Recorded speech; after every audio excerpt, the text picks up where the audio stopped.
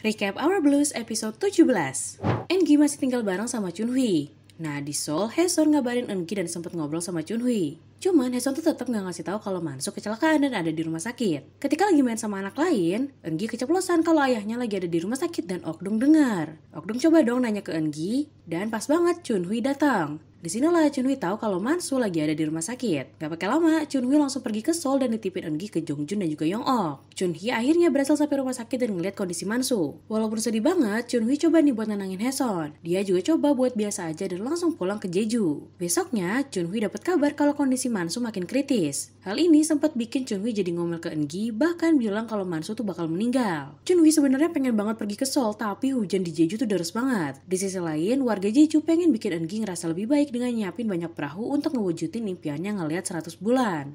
Untungnya saat itu hujan berhenti sehingga Engi, Chunhui dan yang lain bisa doa biar Mansu cepat sembuh.